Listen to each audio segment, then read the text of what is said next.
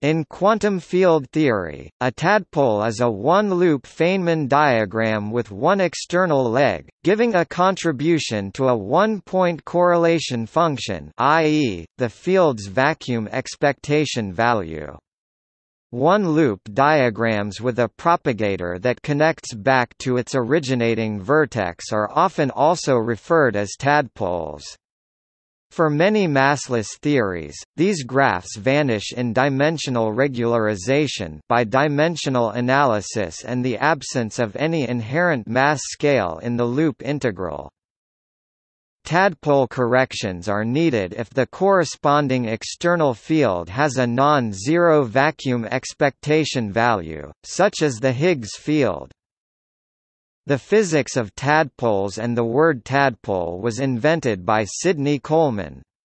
The editor was not satisfied, but he changed his mind once Sidney Coleman proposed spermion or lollipop instead. All words are derived from the shape of the Feynman diagram, a circle with a line interval attached to its external side. Tadpole diagrams, in this sense, first appear in a paper by Coleman and Sheldon Lee Glashow in 1964.